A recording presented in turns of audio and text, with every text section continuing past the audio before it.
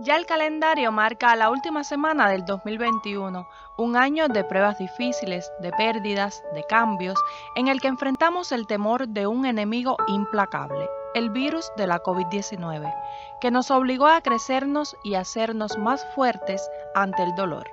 Este año ha sido de duros cambios también para la economía de la familia, con carencias materiales de alimentos y precios con los que es imposible lidiar.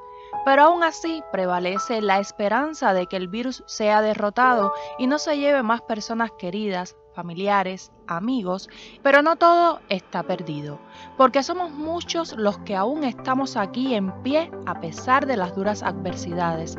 Como robles mantenemos la firmeza, aun cuando nos han soltado la mano y hemos tenido que dejar ir.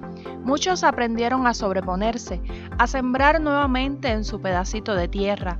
Algunos encontraron en sus cactus un rayo de luz para combatir el estrés y otros se aferraron más al amor, a la familia, a sus hijos, a protegerlos y a disfrutar de esa sana inocencia que los no tan niños hemos dejado escapar al paso de los años. El 2021 ha sido intenso y se ha elaborado por mejorar cosas que parecían olvidadas.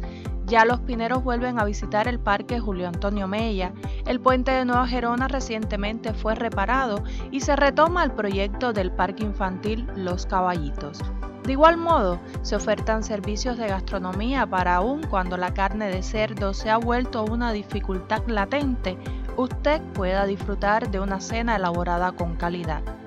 Las pérdidas y dificultades siempre existirán, pero debemos seguir adelante, hacer que los sentimientos estén por encima de todo. El amor y el abrazo nunca nos deben faltar.